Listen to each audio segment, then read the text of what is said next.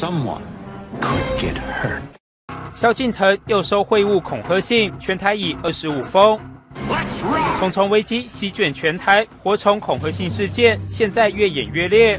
金曲歌王萧敬腾昨天在收到恐吓信，老萧的经纪公司喜鹊娱乐和经纪人 Summer 各收到一封内装秽物、日本黑道徽章和 AV 女优露臀照的恐吓信，已是近期以来第二十四封及第二十五封恐吓信。检警发现，这些恐吓信从去年十二月开始寄出，首批七封全寄给彰化县警方，辱骂警方太闲，取缔网拍假货。之后，连彰化基督教医院、小吃店和北斗镇长等都收到活虫信。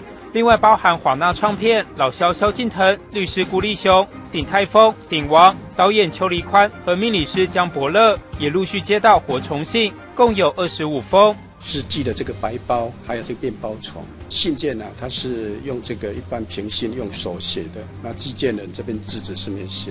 当然，当然会有压力啊，因为一般的业者的话，如果都受到这样子的恐吓的话，当然会怕，这是一定会的。先进清查发现，其中有十九封与在逃性侵通缉犯赖景贤有关。另外六封则怀疑是模仿犯所为，目前正全力追缉赖景贤到案。面对接连恐吓，老肖昨天强调很坚强。日籍女粉丝 Yuki 则喊冤表示跟他无关。动新闻综合报道。